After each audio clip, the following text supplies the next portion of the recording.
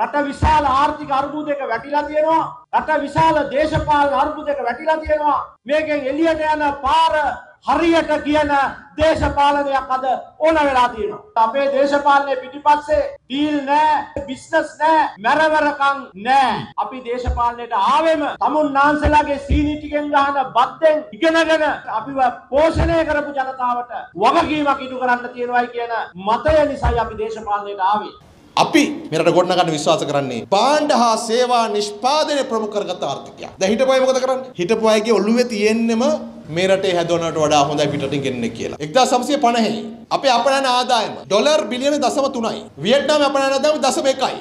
අද ඔය ඔක්කොම සෙල්ලම් දාලා අපේ අපනයන ආදායම ඩොලර් බිලියන 12යි. වියට්නාමයේ 378යි. මොන මැජික් එකක් කරලාද? සැලසුම් සහගතව භාණ්ඩ හා සේවා නිෂ්පාදනය කරලා. භාණ්ඩ හා සේවා නිෂ්පාදනය හරියට සැලසුමක් අතුව මෙහෙවන්න ඕනේ ජාතික සැලසුමක් අනුව. අන්න ඒක තමයි දැන් අද අපි කරමින් ඉන්නේ.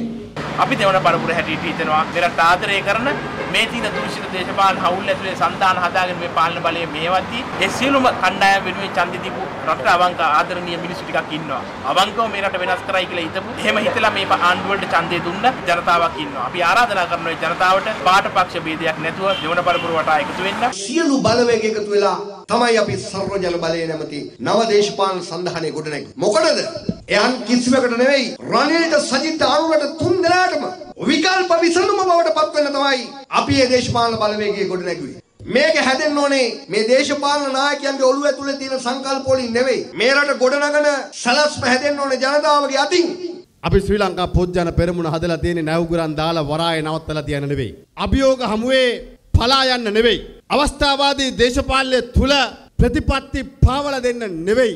අපි ශ්‍රී ලංකා පොත්ජන පෙරමුණ අපේ හාමුදුරුවනේ හදලා තියෙන්නේ මේ රටට ජාතියට නිසි අවස්ථාවන් වලදී අපි විශ්වාස කරන දේශපාලන ප්‍රතිපත්තින් ආරක්ෂා කර ගනිමින් එළඹෙන ඕනෑම මැතිවරණයකට නොබියව මුහුණ දෙන්න පුළුවන් ශක්තිමත් දේශපාලන කඳවුරක් විදියටයි ශ්‍රී ලංකා පොදු ජන පෙරමුණ අපි ගොඩනගලා තියෙන්නේ කියන එක අපි මතක් කරන්න ඕනේ.